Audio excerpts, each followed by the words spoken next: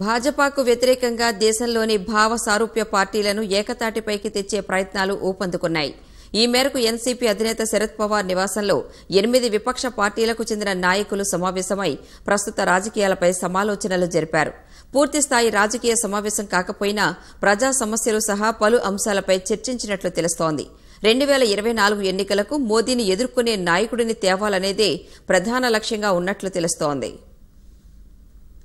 ఢిల్లీలోని ఎన్సీపీ అధినేత శరద్ పవార్ నివాసంలో ఎనిమిది విపక్ష పార్టీలకు చెందిన నాయకులు సమావేశమై ప్రస్తుత రాజకీయాలపై సమాలోచనలు జరిపారు. రాష్ట్ర మంచ్ అధ్యక్షుడు యశ్వంత్ సిన్హా నేతృత్వంలో జరిగిన ఈ సమావేశంలో ప్రధాన రాజకీయ పార్టీల నేతలు పాల్గొనకపోయినా మున్ముందు భాజపా వ్యతిరేక కూటమి కట్టేందుకు భావసారూప్య పార్టీలను నెమ్మదిగా ఏకతాటిపైకి తెచ్చేందుకు తొలి అడుగు పడినట్లయింది. Trinamool Congress NCP National Conference Samajwadi Aam Aadmi Rashtriya Lok Dal CPI CPM నేతలు పవార్ నివాసంలో సమావేశానికి హాజరయ్యారు. గేయ రచయిత జావేద్ అఖ్తర్ మాజీ న్యాయమూర్తి జస్టిస్ ఏపీ షా మాజీ దౌత్యవేత్త కేపీ సింగ్ కూడా చర్చల్లో పాలుపంచుకున్నారు. Congress Shiv Sena RJD BJD DMK Terasa Telugu Desam Vaikapa JDS Akali Dal JMM నేతలెవరూ పాల్గొనలేదు. కాంగ్రెస్కు రాష్ట్ర మంచి నుంచి ఆహ్వానం వెళ్ళలేదని తెలుస్తోంది. ఒకవేళ ఈ భేటీకి వెళ్ళడం ద్వారా విపక్షంలో తమది రెండో స్థానమేనని